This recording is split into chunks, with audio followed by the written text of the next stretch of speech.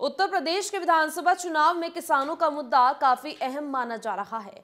किसान आंदोलन ने वैसे भी इस मुद्दे को पहले से ही तुलना काफ़ी ज़्यादा महत्वपूर्ण बना दिया था। किसान नेता राकेश टिकैत की लोकप्रियता भी आसमान छूने लगी थी। इसी वजह से मेरठ में एनएच 58 पर अखिलेश और जयंत के साथ राकेश टिकैत के पोस्टर लगा दिए गए। पोस्टर में लिखा है कि हार गया अभिमान, जीत गया किसान। अब इन पोस्टर में अखिलेश यादव भी दिख रहे हैं, आरएलडी नेता जयंत चौधरी भी दिख रहे हैं और बीच में तिरंगा लिए खड़े हैं राकेश टिकैत। अब इस पोस्टर पर बवाल भारतीय किसान यूनियन ने काट दिया है।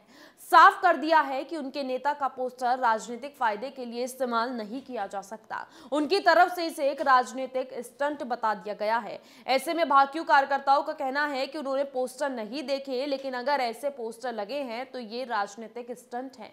इनसे भाकियू का कोई लेना देना नहीं है। कार्यकर्ताओं का कहना है कि वो सिर्फ़ किसान हित में काम करते हैं। अगर कोई वोट के लिए राकेश टिकैत का फ़ोटो लगा रहा है तो यह अनुचित है क्योंकि उनका यूनियन जो है, इसको अनुमति नहीं देता। वैसे इस विवाद पर अखिलेश यादव या फिर जयंत ने कोई भी प्रतिक्रिया अब तक नहीं दी। वहीं राकेश टिकैत ने भी आगे आकर कोई बयान जारी नहीं किया है। तो राकेश टिकैत एक बार फिर से विवादों में घिर रहे हैं। आपकी पोस्टर देख सकते हैं, टीवी स्क्रीन पर आपके दिख रहा है कि एक तरफ़ जयंत चौधरी नज़र आ रहे हैं तो दूसरी तरफ़ अखिलेश यादव और बीच में झंडा लिए राकेश टिकैत नज़र आ रहे हैं, जिसपे अब भाकियू ने आपत्ति जताई है।